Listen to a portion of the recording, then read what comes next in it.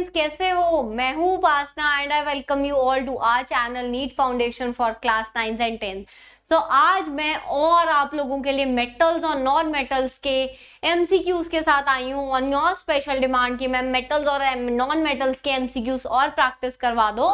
तो आज मैं और ज़्यादा एमसीक्यूज लेकर आई हूँ मेटल्स और नॉन मेटल्स के। तो पर मज़ा तभी है जब आप मुझे सारे आंसर्स जो है वो कमेंट सेक्शन में डालते जाइए और अपने आप को एंड में आज 10 एमसीक्यूज डिस्कस करने वाली हूँ। सेल्फ असेस ज़रूर करना कि मेरे 10 में से आखिरकार सही कितने थे। तो चलिए आइए फटाफट से एमसीक्यूज के ऊपर चलते हैं। फटाफट मेरे आंसर बताने से पहले अपना कमेंट सेक्शन में आंसर ज़रूर बताइएगा।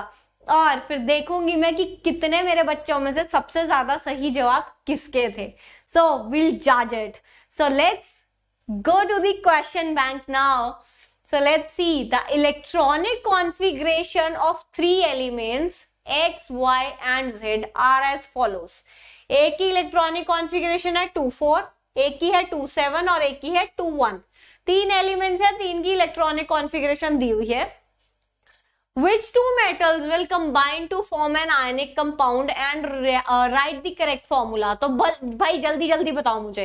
तीन एलिमेंट्स दिए हुआ उसने तीनों की इलेक्ट्रॉनिक कॉन्फ़िगरेशन दी हुई और पूछा है कि इन तीनों में से कौन से दो जो है वो रिएक्ट करके आयनिक कंपाउंड बनाएँगे और उनका फॉर्मूला बताइए। तो ऑब्वियसली मेरे अकॉर्डिंगली आपका आ गया आंसर मैं अपना बताऊँ? चलो अब बताती हूँ।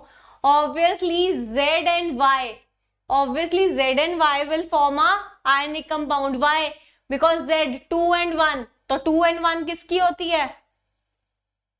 टू एंड वन है। तो आउटर मोस्ट शेल में जब एक इलेक्ट्रॉन है, जब आउटर मोस्ट शेल में एक इलेक्ट्रॉन है, कितना है?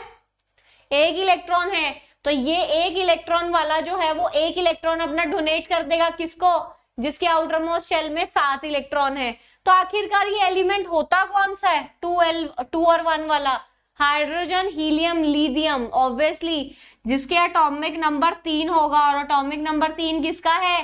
लीथियम का है। तो उसके के एल लीथियम के एल शेल में कितने इलेक्ट्रॉन्स हैं? वन तो वो एक इलेक्ट्रॉन जो उसका आउटर मोस्ट शेल में है, जो क्लोरीन और ये कौन है?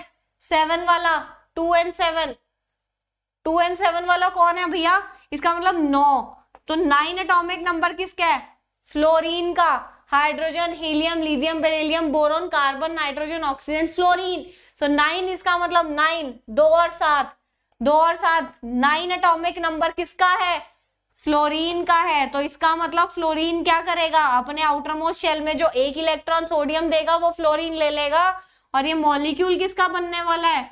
लिथियम फ्लोराइड का। एल लिथियम फ्लोराइड बनने वाला है। तो इसका मतलब किस टाइप का बन रहा है ये? वायरजेड टाइप का मॉलिक्यूल ही बन रहा है। कुछ नीचे पैरों में कुछ न्यूमेरिकल वैल्यू तो नहीं है।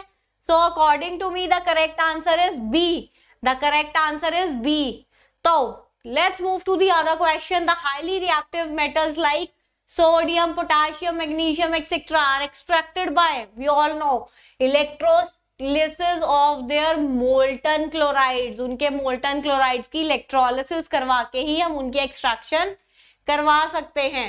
So coming up to the next question which of the following non metal is lustrous बताओ भैया आंसर नहीं दे रहे, जल्दी बताओ। Give me the answer in the comment section below give me quick give me the answer so कौन सा ऐसा नॉन मेटल है जो लस्ट्रस है? We all know non metals are dull an appearance but ऐसा एक एक्सेप्शनल नॉन मेटल है जो लस्ट्रस है, देखो, करवाया था ना ये, आ गया ना एमसीक्यू में। So it is iodine so it is iodine is a non metal जो कि लस्ट्रस होता है। The next question example of amphoteric oxide आ गया एमसीक्यू में चिक चिक के करवाया था एम्फोटेरिक ऑक्साइड है ना? So which is an example of amphoteric oxide yes, you are right. It's aluminium oxide. Very good. So, the fifth question oh oh which of the following is an acidic oxide? इनमें से acidic oxide कौन सा है? Metal के oxide तो हमें पता है बेसिक होते हैं। तो सोडियम और एल्यूमिनियम दोनों ही मेटल के ऑक्साइड्स हैं तो ये बेसिक हैं। तो नॉन मेटल का ऑक्साइड ही ऑब्वियसली एसिडिक होगा। सो नॉन मेटल का ऑक्साइड जो कार्बन डाइऑक्साइड है it is an acidic oxide So let's move on to the further sixth question. The atomic number of an element X is 12. Which inert gas is nearest to X? तो X कौन होगा magnesium magnesium का atomic number 12 है and obviously we all know argon is nearest to magnesium clear है so the next question the process in which a carbonate ore is heated strongly in the absence of air to convert it into metal oxide is क्या कहते हैं? जिसमें carbonate और को हम heat करते हैं तो उसको मेटल ऑक्साइड में कन्वर्ट करने के लिए। Yes the correct answer is C calcination oxides of moderately reactive metals like zinc iron nickel tin copper etcetera are use by कैसे करते हैं हम इनकी reduction we all know give me the answer yes you are right carbon as a reducing agent बच्चों जिसे अभी theory clear नहीं है please go and see my theoretical videos as well जिनमें मैंने पूरी थ्योरी अच्छे से एक्सप्लेन करी हुई है।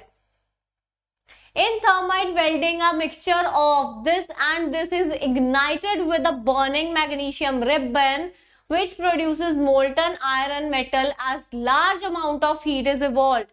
So it's iron 3 oxide and aluminium powder, it's iron 2 oxide and aluminium powder, it's iron 3 chloride and aluminium powder or iron 3 sulfate and aluminium powder. So the correct answer is A, iron 3 oxide and aluminium powder. So coming up to the last question now. Galvanization is a method of protecting iron from rusting, iron from rusting by coating with a thin layer of by coating with a thin layer of किसके साथ?